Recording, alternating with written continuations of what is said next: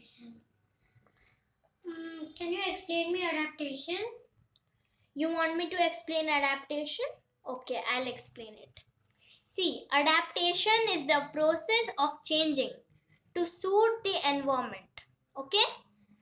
The process of changing to suit the environment is called adaptation.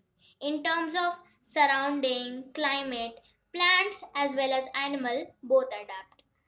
So, I'll give you one example. You go to different various places, right?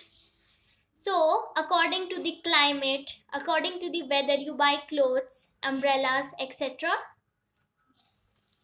So, animals as well, animal as well as plants, both their bodies start to adapt the surrounding. I'll give you an example. Polar bear. It lives in very cold regions of North Pole, right? So, polar adapts by it has a very thick fur. It don't buy shawls and all those things. It has a very thick fur which keeps it warm okay?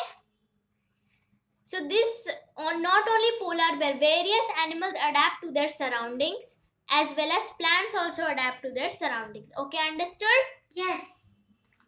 okay i'm explaining you one more time. Just get it to know. The process of changing to suit the environment is called adaptation okay Okay. understood